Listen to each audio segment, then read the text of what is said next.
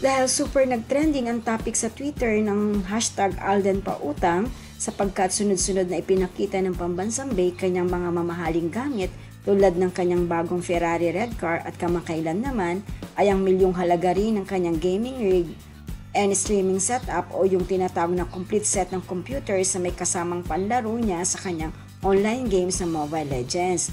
Dahil marami ang nakakita sa kakaibang set na ng kanyang online games at dahil na din sa mga photos na magkasama si Alden, Paolo Abelino at ang well-known of modern na si Mark Van Acosta na siyang gumawa ng super expensive gaming rigs ni Alden ay nakapanayam ito ng pep.ph at doon nga ikinuwento ni Mark na nirefer siya ni Paulo kay Alden at doon din nabanggit ni Mark na nasa mismong bahay ni Alden sa Quezon City nila ginawa ang mga setup ng gaming PC ni Alden at tumulong sa kanila si Paulo.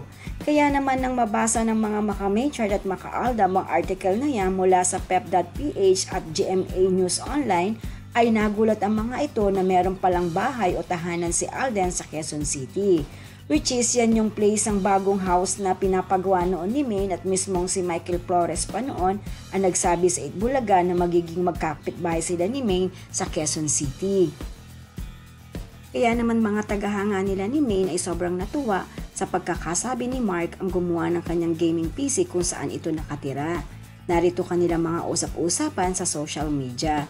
Pahayag ni Maychard underscore babies San banda Alden sa Capitol Homes nyo ni Maine at sumagot naman si Serbo underscore Zusi at sinabing lagot ang nag-set up huli.